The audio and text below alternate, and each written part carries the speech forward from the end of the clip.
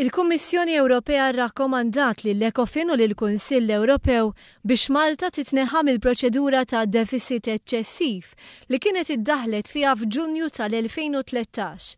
Malta kienet daħlet f'din il-proċedura wara d-defisit għoli li ħalla l-Gvern Nazzjonalista. Din l-aħbar kienet deskritta mid-Deputat Prim Ministru Louis Grech bħala wegħda elettorali imwettqa. Aħna konna għadna li din hija waħda mill-affarijiet li rridu nwettqu. Wettaqniha fil-fatt f'terminu ta' inqas minn sentej, meta dħalna sibna li kellna d-defisit tagħna kien ta' tlieta punt tlieta.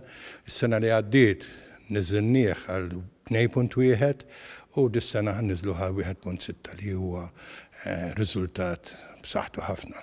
Ir-rakkomandazzjoni saret f'dawk magħrufa bħala l-Country Specific Recommendations u l-Ecofin u l-Kunsill Ewropew mistennija jikkonfermawha fil-laqgħa ta' Ġunju li ġej, Dan ifisser li l-Kummissjoni għarfet l-isforzi li għamel il-Gvern Malti biex ireġġa' lura defisit għoli li kien wiret u juri l-progress li sar fiż-żewġ budgets li għaddew.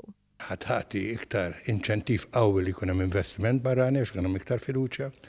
Meta inti tqabblu wkoll mal-fatt li aħna qed innaqqsu d-dejn pubbliku li diġà bdejna nnaqqsuh u naqqasna d-defisit allura inti miexi fit-triq it-tajjeb. Ir-rakkomandazzjonijiet jitkellmu wkoll dwar aspetti oħra. Il-Kummissjoni Ewropea rtirat rakkomandazzjoni li kienet għamlet sena ilu dwar il-ġustizzja, xi ħaġa li tindika li tinsab sodisfatta bil-pass tar-riformi ġudizzjarji f'Malta. Il-Kummissjoni innotat punt ieħor.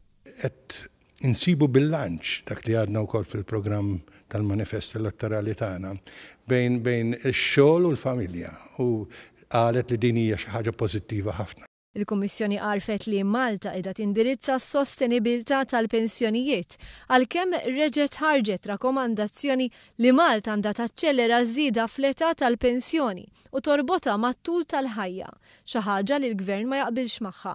Il-Kummissjoni rrakkomandat li jitjieb l-aċċess ta' intrapriżi żgħar u medji għall-iffinanzjar, ħaġa li l-Gvern qed jaħdem sfiq fuqha permezz ta' skemi diversi. It-twaqqif ta' National Development Bank għandu jkompli jgħin biex itejjeb dan l-aċċess.